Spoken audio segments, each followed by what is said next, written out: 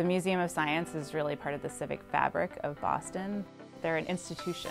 I think what makes Museum of Science unique within the Boston area is we are so connected to so many different organizations that are affiliated with STEM. So what we really focus in on at the Museum of Science is getting people to engage in practicing STEM habits of mind. In the Hall of Human Life, that really comes out strong in our interactive link stations.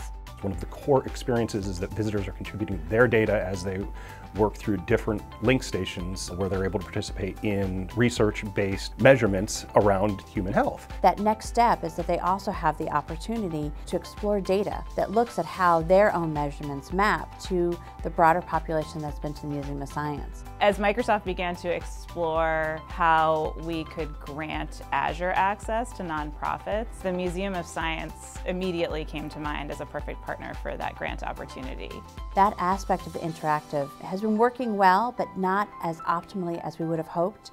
And the Azure gift really helps us to achieve that. We're able to actually provide our visitors with a broader data set and a stronger data set that they can compare their own measurements to in the exhibition thanks to Azure.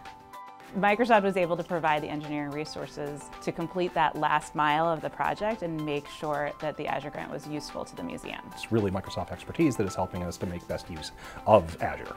It's really wonderful to have a partner like Microsoft that we trust so deeply and to see how it's moved from a transactional partnership into a transformational relationship. We're working together to solve a number of problems that are really critical for the Museum of Science. Not only does it help us know more about engineering and computer science content, but it's also improving the ways in which we develop our world-class exhibitions. So it's exciting. Every time we work with Microsoft, we come up with new ideas for how our partnership could grow and expand even further.